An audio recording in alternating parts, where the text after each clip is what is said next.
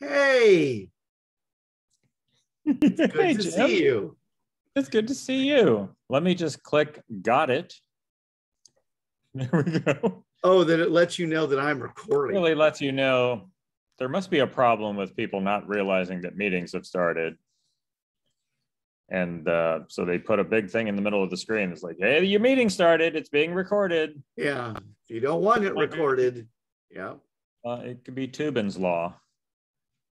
What's Toobin's law? Oh, Jeffrey Toobin. Surely you remember. No. Jeffrey Toobin, the CNN pundit who uh, was uh, masturbating on a Zoom Oh, meeting. Right. Okay. and then had to go away for three months. yeah. Then he's back on TV. And you know what he did for those three months? We all know what he did for those. Oh three man. They were like, make sure you burn it out before you come back. And he said, no problem. And they went, hey, you didn't have to answer us this way. Huh. or stop sending videos. Can you give it? Can you give me four months? I got some ideas. Got some things I want to try. Some things I want to try, stuff I want to look at. Yeah. Thinking overhand. I just, yeah. Yeah. Impressive. you can make that work. Four months. Yeah. Anyway, that's what not what this is about. No, that's the other show. Yeah. That's the other show. This, on the other hand, is episode 42. Wow.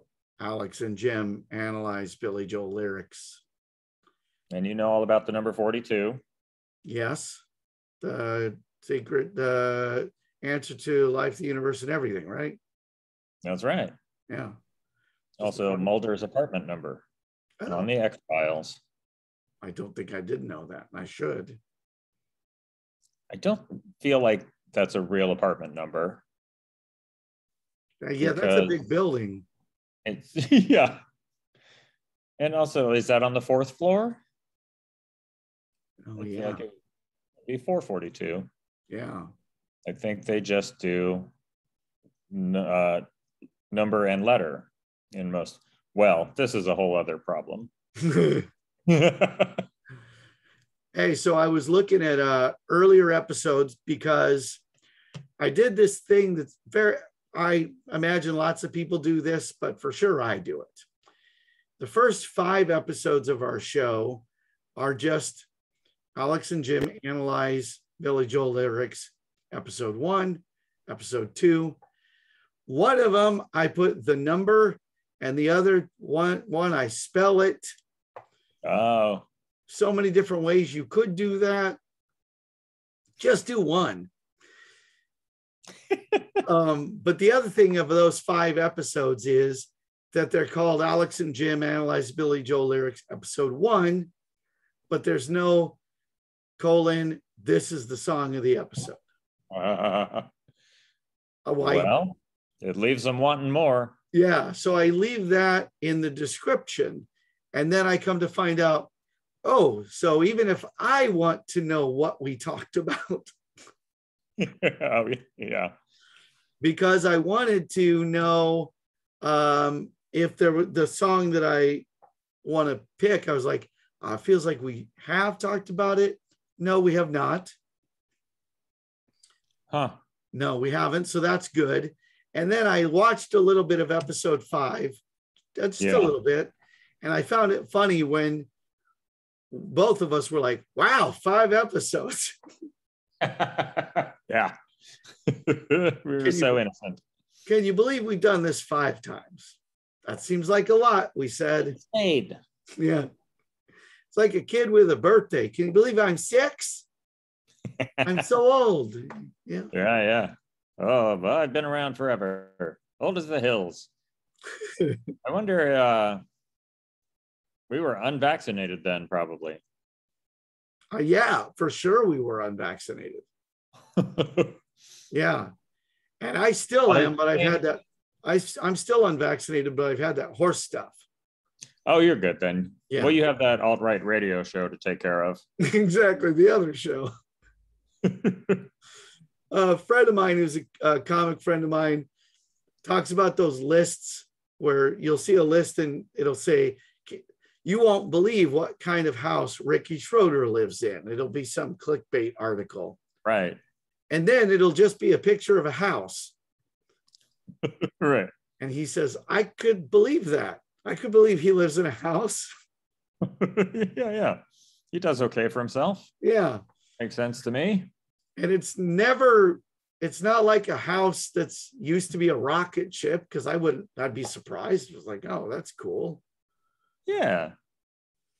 Or, Or- like the Silver Spoons train. Yeah. Yeah. Lives on the train. Yeah. It's you just know the, the list that always drives me nuts uh, it makes me angry even though it's just written down on paper or on a digital screen is when they'll say like 10 things you didn't know about billy joel i'll be like you don't know what i know yeah. And this article's calling me stupid and a lot of them are not impressive things. yeah no Like uh, he's from new york i'm like yeah, i knew that maybe be- number seven i forgot Yeah. And there's usually one thing on there that, no, I didn't know that and I shouldn't know that. It's like Billy Joel's type O. yeah Need that to goes on the 10 things you couldn't have known Yeah. and we're sorry to bother you with. And things you shouldn't know if his doctor was doing his job. He's not supposed to tell me. He's not supposed to let me know Billy Joel's blood. That's HIPAA. yeah. You're, violate, you're violating HIPAA. Uh, that'd be a funny bit. 10 things you sh- you shouldn't know and we shouldn't tell you because it's unethical, but here. And just But here, here's some x-rays. You can't just put... Uh, I think that when I'm watching football and they're talking very explicitly about someone's injury, yeah. like, is this, are they allowed to do that? I wonder Yeah. if they have to sign a release and go, yes, you can tell America about my shattered tibia. It ha I'm gonna guess because the person is a person, but they're also a commodity in that context. Right. And something got signed along Yeah. the way. well, and the- but even if they didn't, because they're participating in a something of national interest, their tibia is more interesting than your tibia. Right. I'm sorry, I shouldn't have said that. Your tibia is No, no, no. It's, you know, you're the third person today, but I'm going to find a way your to tibia, yeah, your tibia matters to you. Yeah. I, well, we always, in my house, we say all tibias matter. you are a strangely specific problematic household. yeah. It to the point where it hasn't come up. Yeah. You have not got canceled for that. Because No, no, not one's yet. sure how to do it. Yeah. I'm having an osteopath over next week, so I hope there might be a skirmish.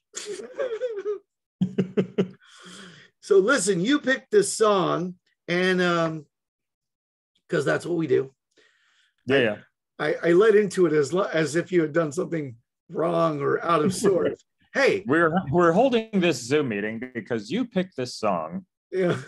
Now I have to talk about it. Why did you pick a song? That's what we do. And you picked half a mile away. And I know I had heard this, I've heard the song plenty, but for sure I hadn't heard it in a long time. Yeah. And what a lovely song. What a lovely song. Brisk and upbeat. And I don't say this often because it's not often something that you would say about a Billy Joel song. I really like his vocals a lot on this. yeah. Yeah. He was really uh in good voice. Yes, and he's doing a couple vocal tricks that can sound ridiculous if he doesn't do them right. Yes, a little uh is it head voice or falsetto? Yeah, um, I, I think falsetto would be, uh, were all those the same thing? I don't know. I don't know. Somebody in the comments tell us and make fun of us for not knowing. So, yeah, you have to let them do the second part or they won't do the first. yeah, but uh, it's quite lovely, and it happens kind of early in the song. It, he doesn't wait a, a, but it's not at the beginning, but it's also not like smack dab in the middle. Right. And that feels different. That feels like I don't not unexpected because I expected a song. You're But- getting good at this. Yeah, but it was neat. It was just a different way to arrange the song. Amen. Yeah. And it's not like a lot of the vocal tricks he does or the sound effects where it's really calls attention to itself. Yeah. It's just like, oh no, this is just part of what I'm doing. Yeah. It almost feels like a thing that will happen where in in many art forms where he was just singing. He wasn't being super self-conscious and a nice thing happened in the studio. That's what it sounds like to me. Yeah, that sounds right. Yeah. I'll bet there are a lot of uh, versions because you could go at this a lot of ways, I think. Yeah, absolutely. Just a perfectly lovely song. I don't think it ever charted. No, don't think so. Yeah. Is it Not like friendly, I would think. is it like anything? I wasn't sure. Is it a style? it must be a style. Is it is it's not it's not 50s or 60s at all, is it? It felt a little bit like it. No, I mean, I feel like it was a good uh, compilation of elements. Yeah. There's, you know, there's some R and B in it. Obviously, there's some like 50s style singing with the falsetto. Yeah. Frankie Valli. I think he just like used his toolkit in a nice Yeah. way. But- Um, speaking of styles, kind of, I have to briefly interrupt our our flow to tell you about this uh, absurd person. Okay. Um, we went, we played golf out on Long Island, pretty close to, I would say, Billy Joel's hometown. We were pretty close to Hicksville Sure. in Oceanside. The guy we're playing with kept recommending that we go to this restaurant nearby afterwards because they had the best steak sandwich in the world. So we, okay, we're like, okay, we finally, we're like, okay, we're gonna go after golf and we'll go to Jimmy Hays. Um, it's little. So we walk into this place. It's just like a little restaurant on a strip. Um, we walk in. It's broad daylight outside, but you couldn't see your hand in front of your face inside. Sure. dark wood everywhere, dark wallpaper, a bunch of people in their 60s and 70s sitting around the bar.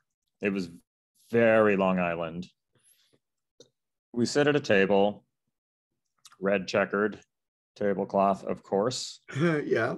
This dude comes over who, was was the maitre d. He was like the guy who seated us, like all of which was like this place ain't nice enough for a maitre d or for waiters with ties on, Right.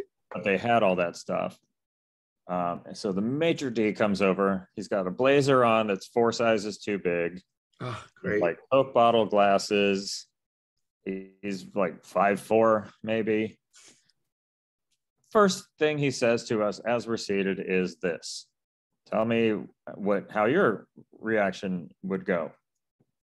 So, uh, what kind of style you like? Yeah, that's what we said and did. We're like, "Huh, what? what?" So I say, what? And he said, "Uh, what kind of style you like? I'm like, again, style of what? New wave.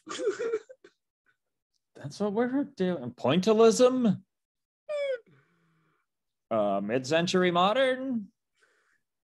Uh, finally, he goes, red, white. So wine comes in styles in Long Island. It was just my favorite sentence of the last two weeks. And I said to Sue, I was like, that is a perfect ready made SNL catchphrase. yeah. I don't know what the sketch is, but what kind of style you like, Yeah. Paul? Well, uh, I wonder I wonder if there would be a person who would come in and would know they would go red. they'd say, because they know we're ta- oh style. Well, he must be talking about wine. No. I mean, like high waisted jeans, or do you like the low cut? It was real. It was so baffling and such a great character. That's great. The other one I've heard in reference to wine that if you don't clarify doesn't make any sense is I've had somebody ask uh, what flavor I want. And that's a dumb way to say it too. That's a real dumb way. Yeah. That there was no maitre d at that place, probably. No, just a waiter. Flavor But it's also just silly because grape. grape, yeah, flavor. Wow. Uh, that's pretty great. Uh, when you ask for a Gatorade at the golf course, they always say, "What color Uh, I don't know that everyone knows the flavors that match the colors, but you can certainly see the colors. Yeah. That's, that's- just efficient. Yep. And and it's contextualized. You've asked for a Gatorade. That's true. Yes, we we're on a path of some kind. Yeah. The maitre d didn't go, what color? And you went, is this place is Hmm, hmm. this place just racist? What's going on? Well, yes, but not just. Not just. That's great. Uh, that's fantastic. That's dumb and crazy and Dumb Wow. and delightful. wow. So yeah, what kind of style is this? I think it's like accessible jazz, sort of. I mean, it's 52nd Street, which is a, a lot of it is that um, was very jazzy yeah. and it's like Spanish jazz. But this seems like a little more mainstream. Jazz rock, is that a thing? Can you just put hyphens between any two words? I, I think, yeah, I think you can. I think everyone does that constantly. Um, and there probably is something called jazz rock, and I bet it's bad. I bet most of it's bad, but some of it's probably like Steely Dan. Yeah. Yeah. Yeah. And, but a lot of it is like they think it's jazz. Yeah, And That's the problem with people who know a little jazz is they Yeah. think it, oh it's everywhere. No. and people who know better say stuff like it isn't even a rock at this point because it's neither thing now. Right. Yes. You broke two things. Yeah, it's just more or less bad, is what it is. Yeah. Um, yeah, it's out. Well, that and you- you had a couple weeks off, which is nice. yeah. A delight. I also had a couple weeks off because I didn't do the show while you were gone. Okay. Yeah. That's a choice. Yeah, that's why you're not like. your job, right? That's why I'm not like saying episode 88, and you're like, Jesus, you crammed a bunch in. son of a bitch. Who is she? you know, all all the songs I talked about by myself, just into them into the Zoom God. camera. I'd watch that show. I uh I do have a few little things I do occasionally, like that are just me. Though, like the movie review, when should I pee? I did it's just me. And uh Right. and then a bunch of just nonsense videos. My my reboot of that's a very funny video. I did this reboot of the Twilight Zone, and all it is is me dubbing over Rod Serling's part. That's it. That's the only change. Great. So you know the glasses episode where Sure. famous glasses episode. It's just me going, aha, stupid nerd broke his fucking glasses.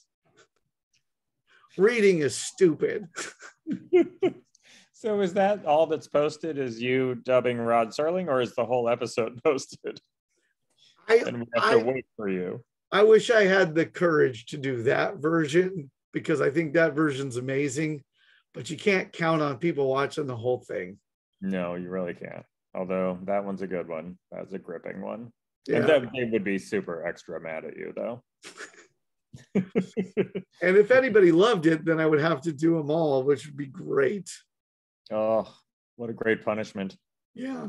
And there would be a couple ones where it would just be, be going, yeah, this one's not a good one, right? I'm Rod Serling.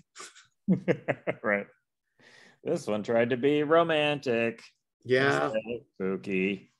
This one makes Africa seem scary and it uses Africa as the villain. And I don't like this episode. Just the idea of Africa is the villain. yeah. You seen that one? It sounds familiar. I'm sure I have. I've seen them all. Yeah, and there's jungle drums and a lot of problematic things in it. Ah, Back when people were like, you know, Africa where there's no cities, it's just jungles. yeah, yeah. People don't use plates or anything there as far as we're depicting. All right. All will right. eat Each other though. All right, so you picked half a mile away is the song you picked. Dead. And uh it's a nice song and I don't have very many complaints about it, which is odd. Uh so let's we can scare some up. let's get into this one. And as you observed before, it's a brisk song, so not a lot of lyrics, but plenty. Plenty. Uh, Enough. Yeah. So why don't you go ahead and start? All right. Little Geo is a friend of mine. We get some money and we buy a cheap wine. So Geo does not get you your drinks for free. no, this is uh not not one of his better friends, I guess. Um, I do love Geo as a nickname. Me George. too.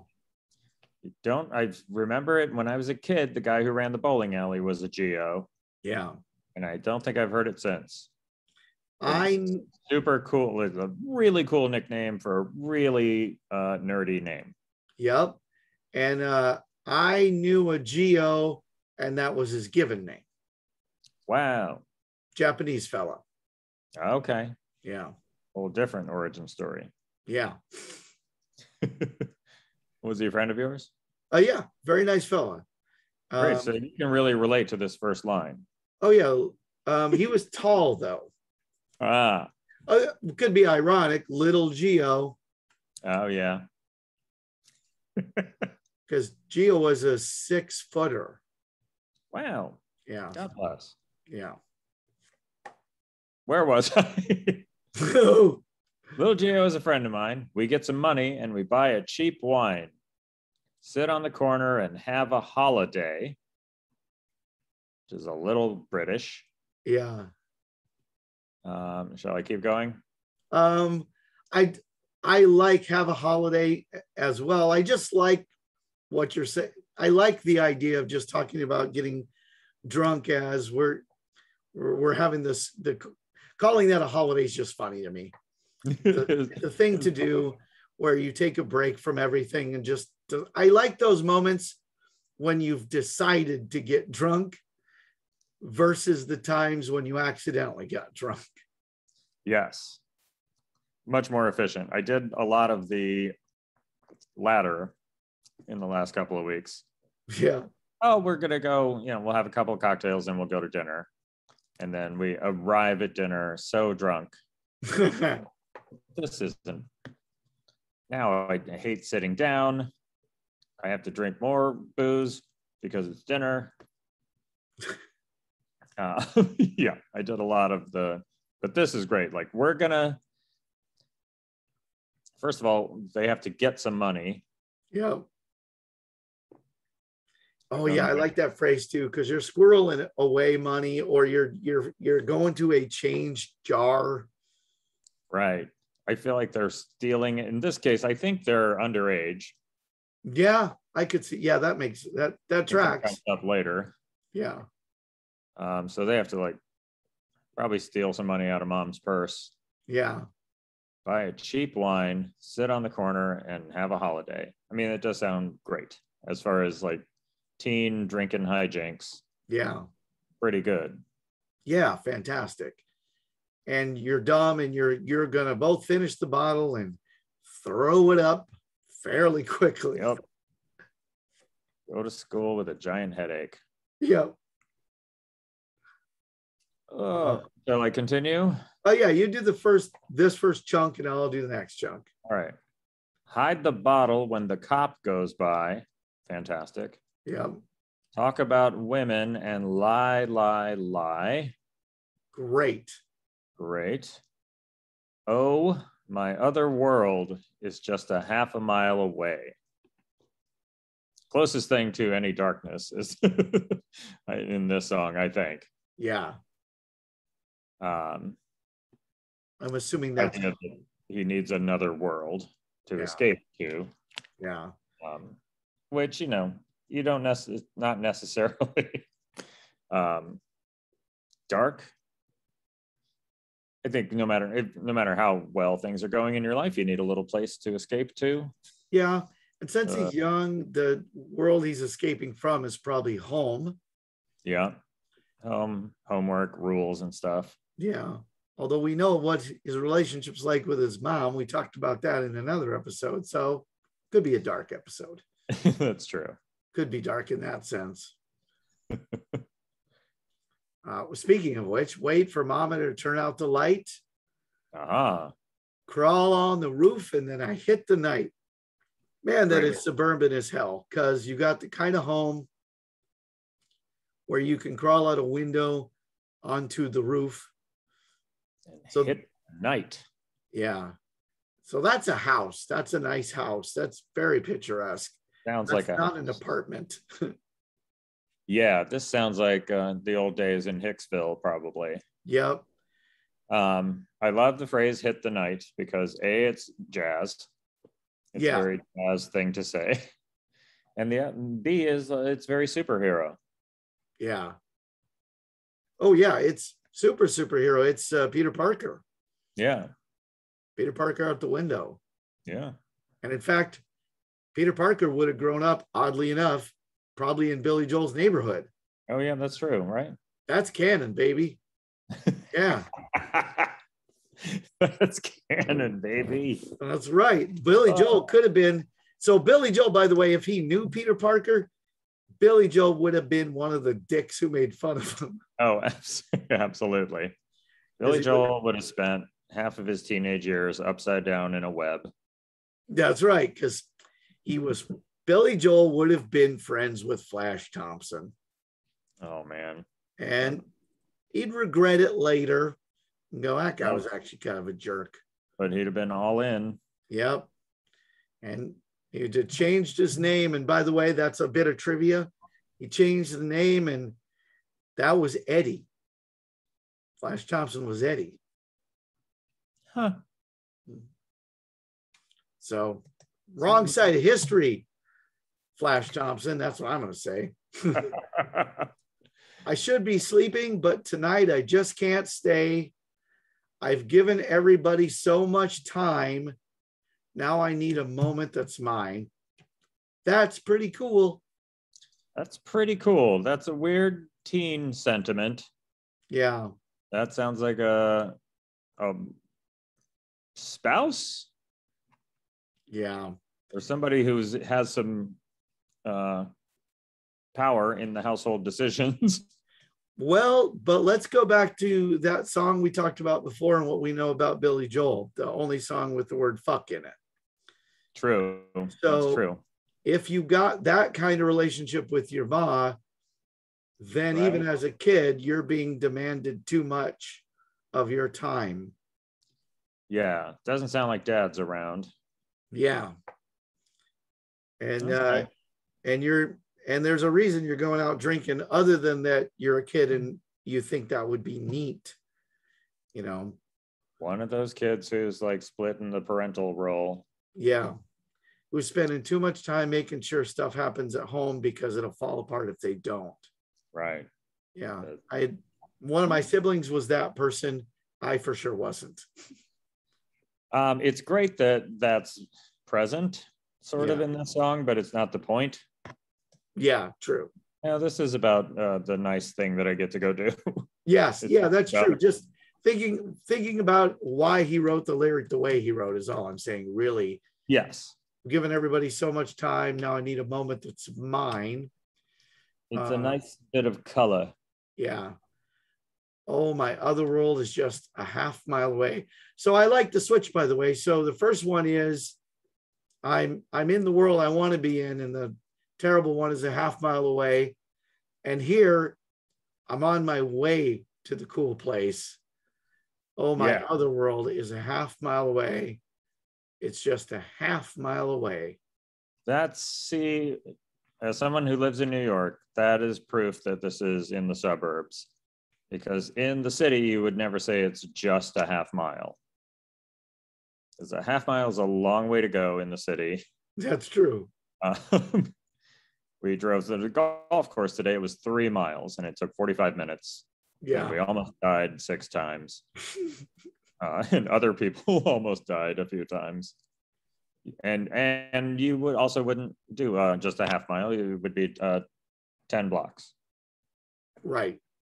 or some other unit of measurement. Yeah. Um, And you when you're- get yeah, and you it's get popped in the Starbucks mouth. away.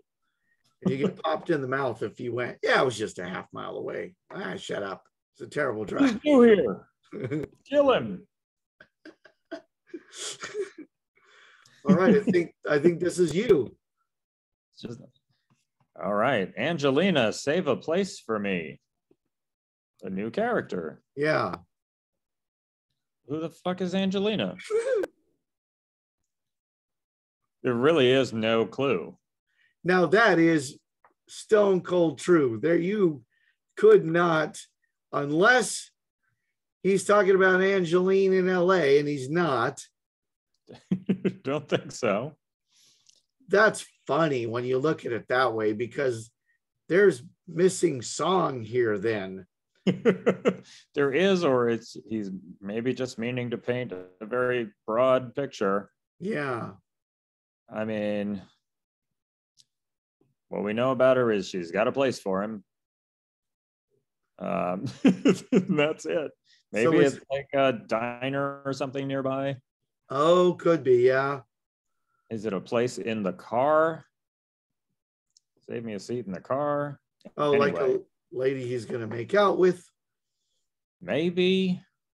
It's a good, I mean, it's a good Long Island name.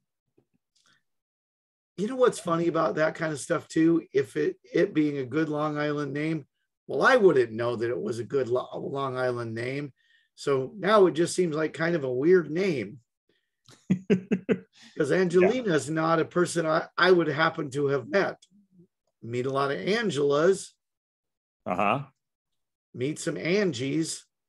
I don't, I don't know that I've ever had the good pleasure of meeting an Angelina, but I bet you can just meet a ton of them in Long Island. Yeah, I bet you would. I only know an Ange. Yeah, and then- and so you only know them by their nicknames. So you're like, are you Angela or Angie? She's Ange, I guess. Ange.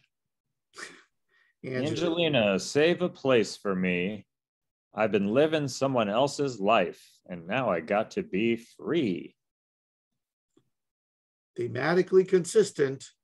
living uh, one of one of his parents' lives. Yeah, Somebody's not pulling their weight. yeah. Someone's Turn your, this is great. Turn your transistor on and let the music play.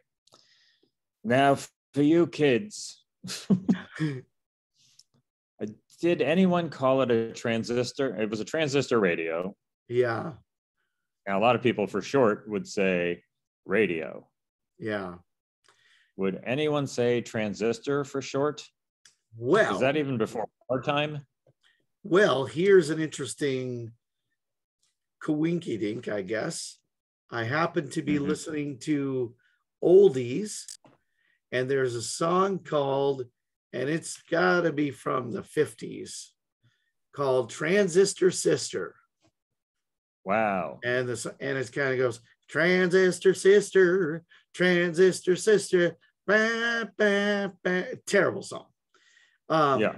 but it's all about his sister being really into the, the rock and roll and and it's called transistor sister so i guess people did use i don't know how common it was but i guess it makes sense when you were like really taken with these newfangled transistors and thought they were neat Sure. That tracks.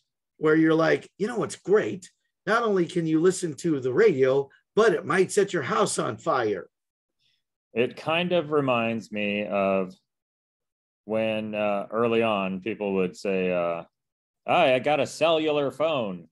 Oh yeah.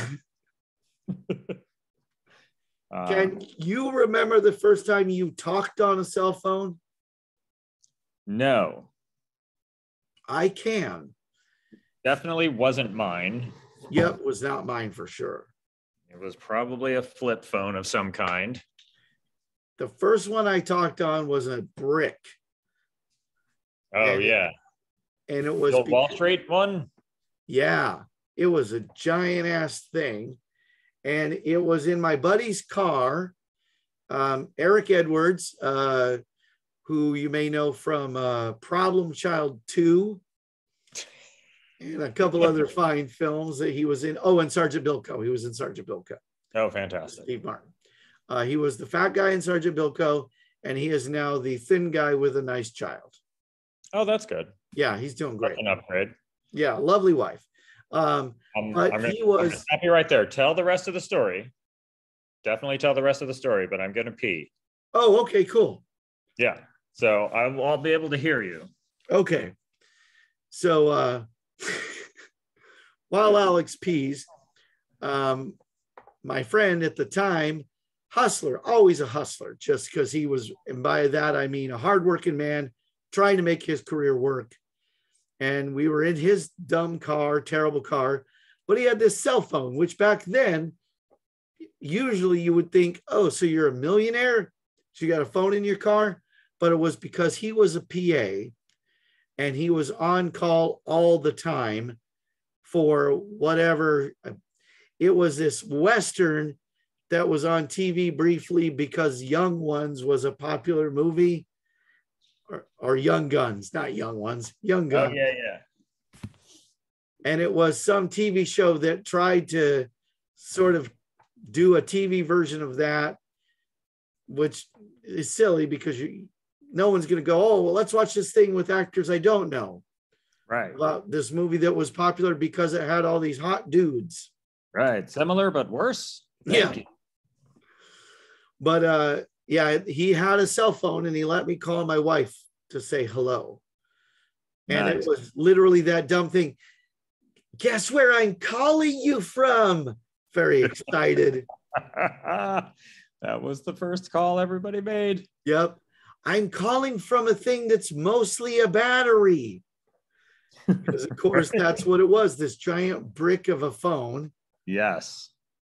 Oh my God. weighty, by the way. Even at the time, it, it's not like at the time you Yeah. would have went, oh, it's so. Even then, you knew it was heavy. Yeah. You're like, oh, this isn't going to last. Yeah, Nobody's going to carry this around. This hot brick. yeah. It's great. Uh. You can make a four-minute call, and it only cost you eight hundred dollars. uh, the first thing I remember was that uh, in Comedy Corner, John Fourier did some stand up one day uh, in 1985 or 86. Sure. And he said uh, his joke was, I just got one of those new cellular phones. I left it in my car, and the next day I went out there and I had 40,000 of them. Which I thought was great. Most of the audience did what you're doing. Oh, cellular. Yeah. Okay. Yeah. okay. He, we, it was really funny to watch that joke eat it and then get it yourself and be like, oh, I get it, but I know why it ate shit. Yeah. Now, here's the thing about a joke like that too. Um, he was young in stand-up at that time anyway, so right, he hadn't been Yeah. doing a lot of stand-up. So it's something you learn as you go along.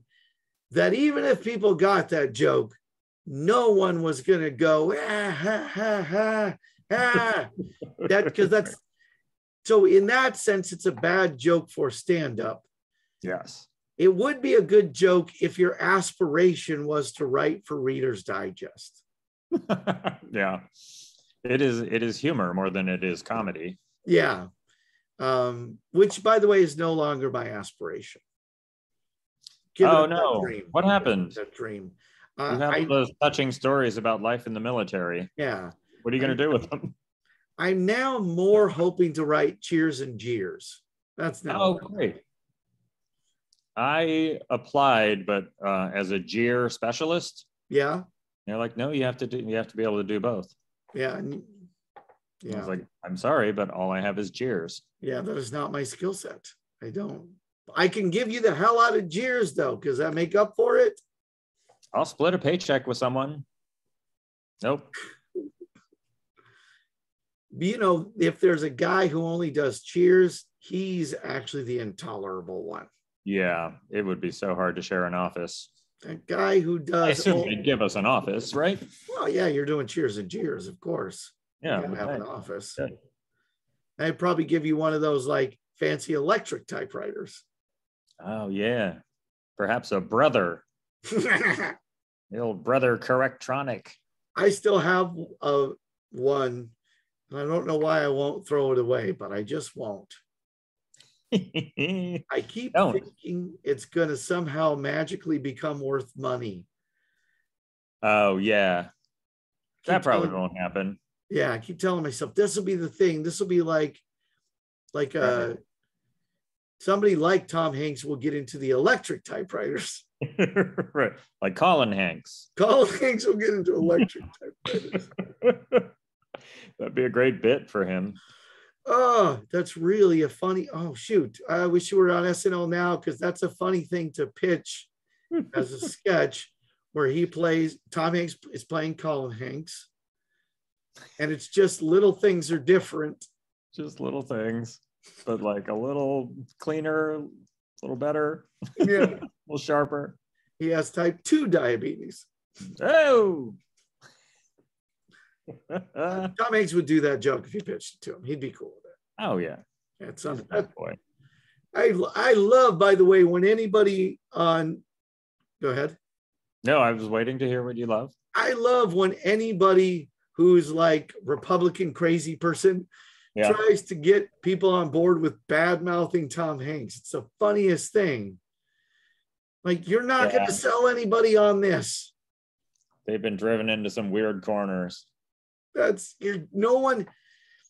And the vast majority there, I promise you, there's somebody who during the insurrection, terrible person was like, "No, I like Tom Hanks for sure." Oh, yeah. They went back to their hotels in DC and a lot of them watched that fucking news of the world. Yeah, They're like, oh, yeah, I like this guy.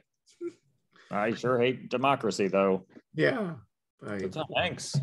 Tom Hanks, love Tom Hanks. Democracy, boo. Turn your transistor on and let the music play. I guess I'll do the second half since there's not a fourth thing. Yeah, that sounds good. I like this lyric a lot. I try to keep the family satisfied, but there's got to be more to life than just try, try, try. That's a great lyric. That's uh, I, it was Yoda. Yoda said that, right? Yeah. I- uh, it is a great lyric. and the how funny that it is so economical, but because you've got talk about women, women and lie, lie, lie, but there's got to be more to life than just try, try, try is a nice echo of that earlier rhyme. And I'll tell Uh, you what, Similar sentiment. similar sentiment, and there have been songs where he wrote a hell of a lot more lyrics and did not come close to this. Yes. I feel like there should be a fourth verse, but maybe there shouldn't. I think it's all there. Yeah. Other than letting us know who Angelina is or where the place is. I feel like it doesn't matter. Yeah. It's the general sensation of, you know, little Geo and Angelina are people and places I go to to get away from my overly adult responsibilities in this weird Long Island house. Yeah, you're right. You know what's you're a damn genius because you just pointed out something really great. I felt like I knew more about little Geo, but I don't really. He's just He a just- friend. He's just a guy he knows and The only difference is I know exactly what him and Little Geo are doing. They're getting drunk on the street. Right. And I don't know exactly what him and Angelina are doing.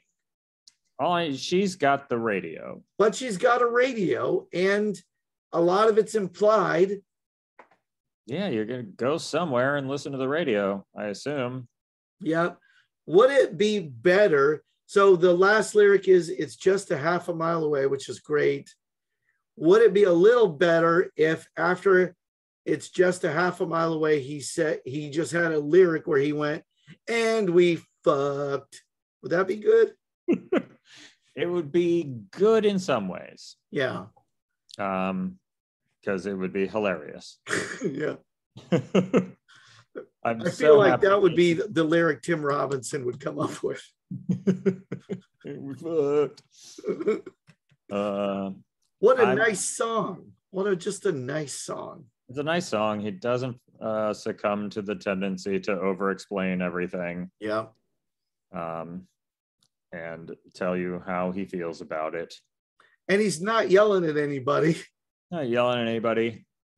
He's not better than anybody. Wow, there's a lot of things he does in that are Billy Joelisms that I love because I love me some Billy Joel, but he doesn't happen to do the, any of them in this. He's just barely complaining. Yep. Try to keep the family satisfied. There's got to be more to life. Not like, and it's miserable and killing me. Have I you heard this expression? It's an expression I like. Uh, and it, it'll be sometimes it's a work expression, sometimes it's a family expression.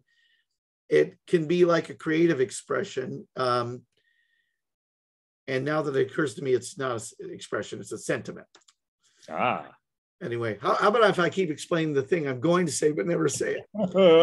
Uh, but people will say, don't just, you know, I don't like that you complain and don't at least try to come up with a solution.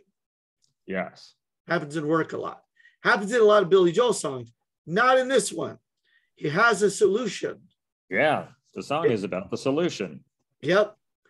And that's why it doesn't come across as complaining because he's just letting you know and stuff at this other place we think home home makes the most sense is Right. a little much and also it's a valid complaint it can't just be try try try No.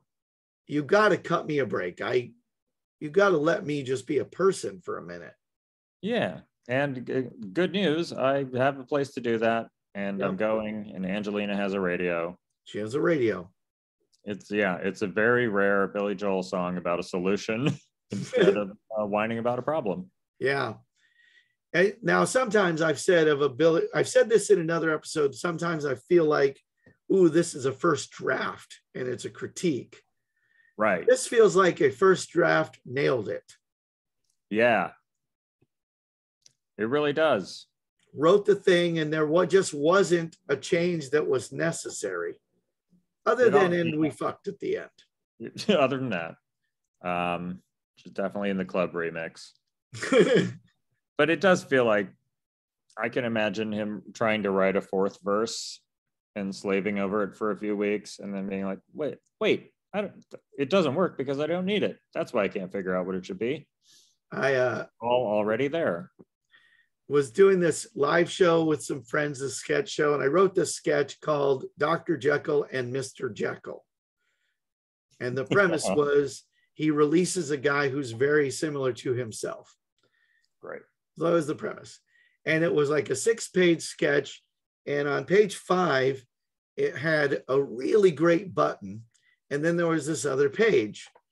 And our friend Paul, he goes, I'm going to do some editing. And he went, and it literally stopped at the end of the page before. And I was like, Oh. ah, yeah, oh yeah. the easiest edit. And I, I couldn't tell you what was on that last page because once it was torn up, I was like, yes, I don't even know why I wrote the extra stuff. Yeah. Oh, it happens all the time. It's such a delight when you figure it out, Yeah. and such a bummer when people don't. Yep. You can certainly watch SNL and be like, "Oh, I, that sketch is already over. Stop talking. Why are they talking? No, they're doing more things. What a terrible idea."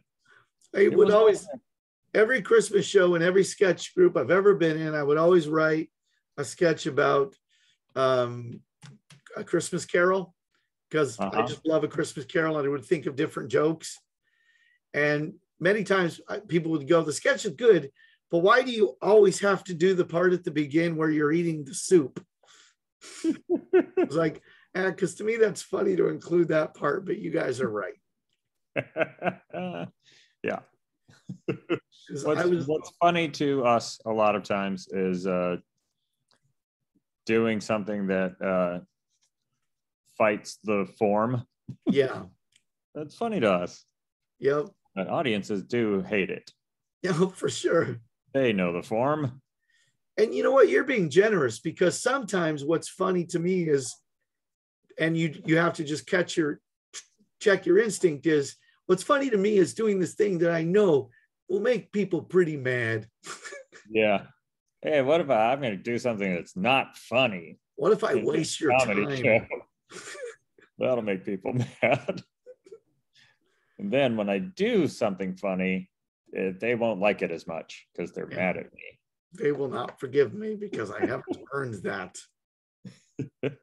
Now, the trick, by the way, for anybody who wants to do comedy, earn their trust first, and sometimes they'll like that you did the other thing. yes. But first, Be earn sure. their, Definitely check. earn their damn trust. Now, I mentioned canon earlier. You Something did. was canon, which is it is canon that Billy Joel was neighbors with Peter Parker. Is that what I was saying? Or that Yep. Peter Parker grew up in his neighborhood. Yep. Um, this particular clue behind me could be considered not entirely canon in a particular way. And that's a clue because let me show you a little more of the picture. Uh, oh. Wait a minute. Isn't that a cute dog? That is a cute dog with a loaf of French bread. Yeah. The bread's not important. That's just get the bread out of your mouth, out of your mind, not out of his mouth. Um, what's important is the dog The dog. and the location. Hmm. Looking at the picture, I see some New Yorky looking buildings back there. Yep. Feel like we might be in Central Park. Yep. There's a dog in Central Park. Yes. Hmm. And it doesn't matter what kind of dog. I don't think it matters too much. Um, but it is a specific dog. I mean, it doesn't matter for the clue, but but because I just had to get a picture. But it is referencing a specific dog. Huh. Yeah.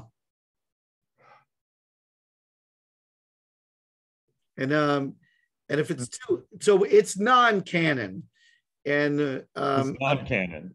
and what would make it non-canon? Um, if it were a song that is not on an album, Sure, that could be it. could be a not a Billy Joel song. There you go. not a Billy, not a Billy Joel written song. Oh, interesting. Perhaps sung by. Um, he- there is a. He certainly played a dog in the movie Oliver, uh, where they sang a song about Central Park. Um, There's what was the song? We just listened to one of his songs from that movie. Ah. It was like uh, New York is great or something. Like exactly what you'd think it would be. I like walking around New York. Here's a list of things you'll see.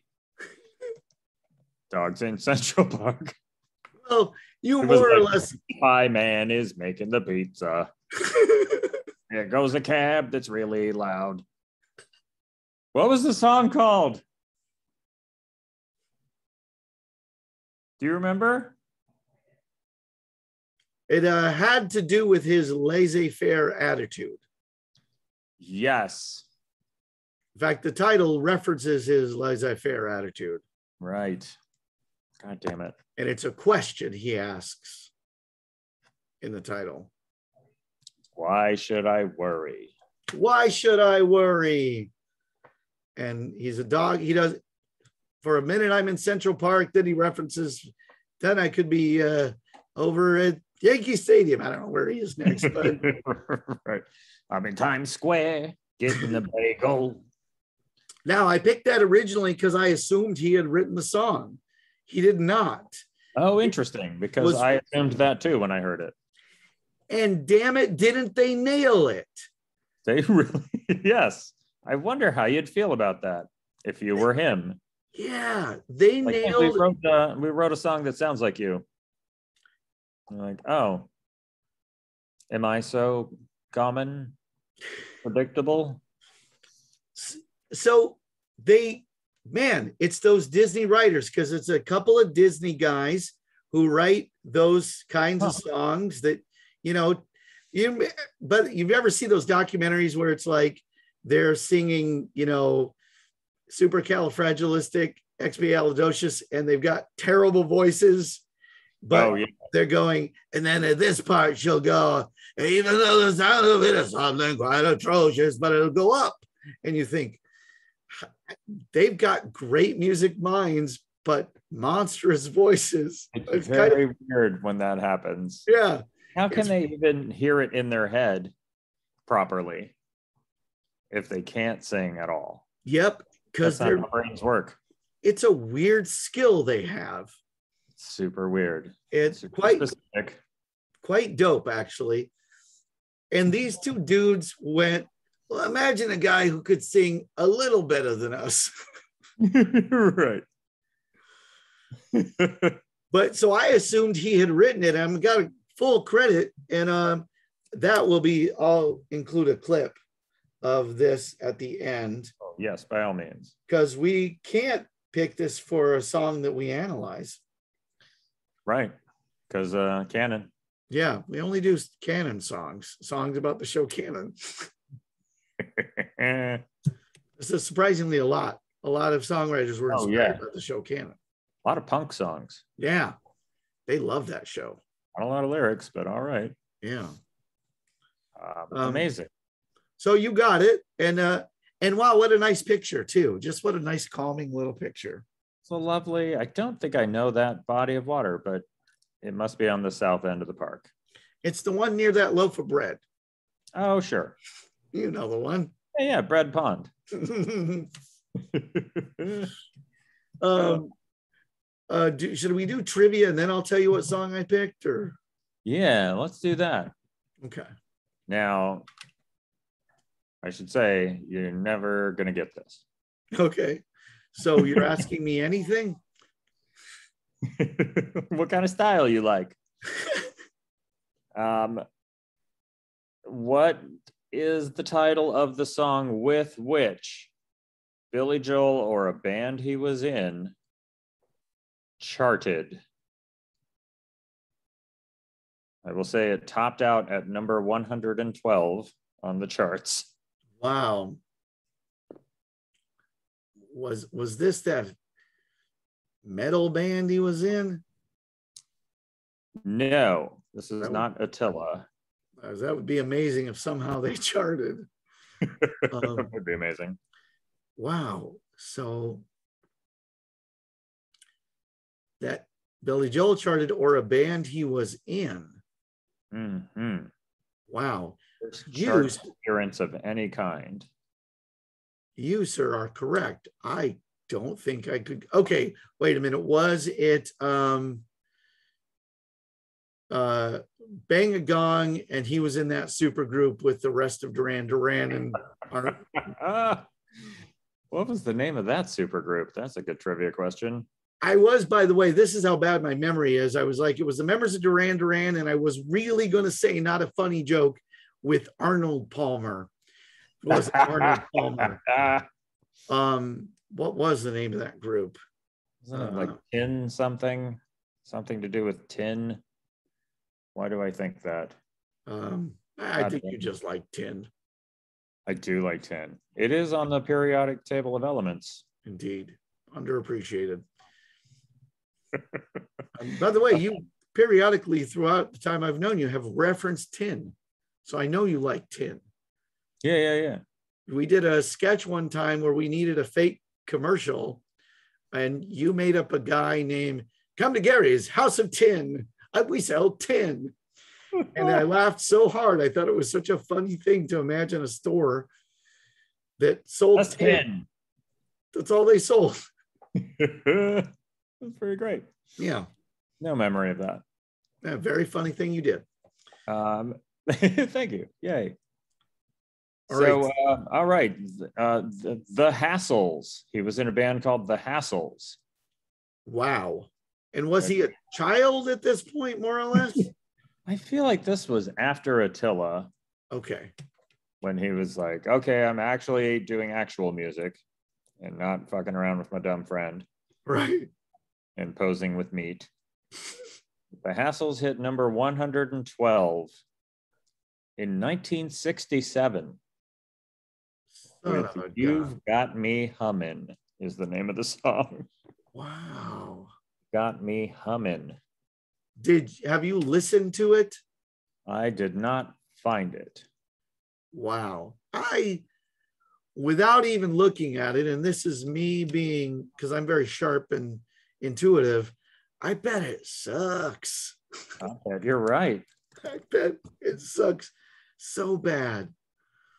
You got me humming is such a generic. Wow. Wait, let's. We're gonna break the law right now because You ever wondered did what it. actors and actresses do when they have to get I in shape really ad. fast for a movie? let's hear a few bars. Oh wow.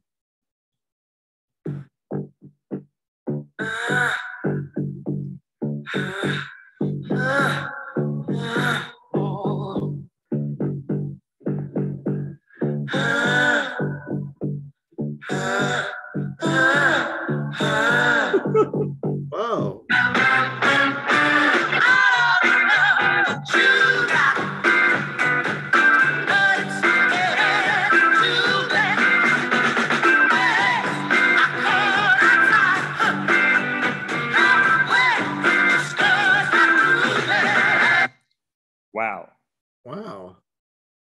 Really racist. that is five white dudes uh, stealing Motown. Wow. Wow, That's pretty terrible. it's pretty terrible. Fascinating. The beginning is dirty, right? Yeah, and gross. Yeah. Not hot, dirty. That was gross, weird, dirty. Man. That so you know you've always you've asked oh, what what song would you think of when you that to you is the typical Billy Joel song? You've said that before. right, Right. I got to tell you, that song is one I think. What's a typical Hassle song? That's the one that comes to mind. That is straight up the gut for hassles. Bad song. Oh God, that was awful. Have you heard any um, of? I don't know if they were called Rory Storm. I can't remember the Beatles before they were the Beatles. The songs Oh, they no. they're bad. Yeah, they're bad, right? Yeah, they're bad. It's the same thing. It's the same thing. for.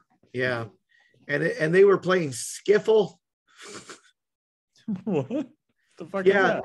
So it was a version of rock and roll that was popular in England at the time called skiffle, Oh, and it's not good. it sounds terrible just off the name. Yeah, it was just it's like so like new wave is essentially is pop, but Right. we call it new wave because it has this certain flavor of its own, and you either like it or you hate it. Sure. And then skiffle was like that, but it was like regional. And Oh, it was just that was their version of rock and roll probably because at that point to hear rock and roll you were importing it right. and you weren't surrounded by it so you were going to create your own version in this case without nearly enough influences because you didn't really get it. But and then somehow the Beatles, steal from someone. yeah. One of my favorite Beatles things that's not music is there's an interview with both with I think it was McCartney and Lennon. They were talking how much they loved Elvis, and they talked about how when they were young they used to say, "Like, how did how did he write all these songs?" yeah. And there's a later moment when they're disappointed. Funny story. So here's the song I picked. And I think you're going to swear we've talked about it too. Um, but we haven't. It's from Glass Houses. okay. You may be right. You may be right. We did not talk about it, huh? Nope. But doesn't it feel like we have? It does. And am I wrong? I don't think I am. But I'm aware of. Although, if you are, it's kind of great to do it twice. Yeah. You may be right. Boy. Yeah, no, I don't think so. Okay. Remember how I found you there, alone in your electric chair. Wait, is that the one? Yeah. Yeah. Yeah, I, I- don't think we have. You know what I think we did now that I'm piecing it together in my mind because I went and I looked at our at our discography Uh huh. and it's not there. Now it occurs to me that it's been a picture clue. Oh, yes. And that was a very long discussion about that picture clue. Yes. So it would be easy to mistake that for a whole podcast. Yeah. yeah. So you may be right. Hmm. Yeah. I like it. And uh, I felt like it was time for a hit. yeah, that's probably true. yeah. Way, All right. I love it. that way Tom can justify listening to another episode. Whatever it takes, bud. Tom, as you can, as you may recall, was listening to every episode where we've talked about anything off of an innocent man, Oh, right. Yes, yes. because that is his Billy Joel album. okay. That's like where he's like, that's where I learned about Billy Joel. Okay. That's fair. Late in the game. Yeah. That was his Billy Joel. Hey, what do you think of all this beard, by the way? Look at that. I was going to say, it's really coming in. It is. And it comes in more each time that I go, ah, forget it and shave it. And then when I let it come in the next time, I'm like, oh, there's more beard now. This is great. I think blonde beards are terrible. And so I'm so glad it's gray. Yeah, I don't know. Yeah, yeah, yeah. It's a nice combo. Problem with a blonde beard is unless it's really thick. So literally, unless you're Mike Love in the Beach Boys, Mhm. unless it's super thick. What happened? We have a thing where uh, when it's 922 and we notice it, we shout it. Oh, Yeah. It's his lucky number. 922 is? Yeah. Oh. Yeah. Mine is 911. No. it's just you're keeping it Yeah. even after what happened? Or is that when you started it? Because I was like, oh, I wasn't in New York. that sure is lucky for me. Yeah, I guess so. It's not crazy. It's all in how you look at things. Oh. oh, awful. Awful. If we don't get sued for playing the hassles, we'll get murdered for that. Like two days after, which by the way, I just happened to have, have a show. Maybe, maybe it wasn't two days, and hopefully I didn't do a show two days later, but I happened to have a place to do comedy, and people were still raw, as they should be. Yes. and this one comic i'm still friends with him to this day because i he just has the worst instincts i think maybe i'm still friends with i'm friends with him because he's actually a good guy but i think i'm also friends with him because i can look at him go and go my instincts aren't that bad it's nice to have that around. Man, I, I wouldn't have done that Yeah, clearly I must be good at this Yeah, because based on how bad this guy is. And the joke not funny. There are funny 9/11 observations sure. that you've heard comics make that you went, okay, there's been enough time. I can see this funny observation. Sure. Not that guy. No. What was the joke? Um, no, not gonna do it. no, Well, Proof right there. yeah, no, it was Can I, unpleasant. can I say this? Uh, Yeah. That's a good instinct. It was unpleasant. oh, Yeah, yeah. A lot of people felt like they had to try to do something and they were all wrong. yeah. You, Yeah. you you were right. You had to try to do something, which is a joke about something else to ease the pain. Yeah. No, realize what the job is. Yeah, do that. Uh, I've done. I'm doing a Steve Martin thing in my act now. By the way, Yeah. yeah, I'm doing all this material now. Um, no, I decided. Hey, we need his. He talked about in Born Standing Up how he didn't do any political comedy. Right. as his own version of that of a reaction to how political everything was during the Nixon years. sure. So in my bulk of my act, I'm like, yeah, people don't need to hear my take. They just need to have a good time. And uh, it's working out good. I'm actually having better sets. So there you go. Because I'm not the guy. I'm not the guy to do the political jokes. I can write them. That's fine. But yeah. It's not where your heart is. Yeah. All right, everybody. You did a good job. Um, Yeah. You hung in there. I uh we did not do what did Alex order this week? Can I tell you what we ordered? Go ahead. It was Chinese. Damn it. Yeah.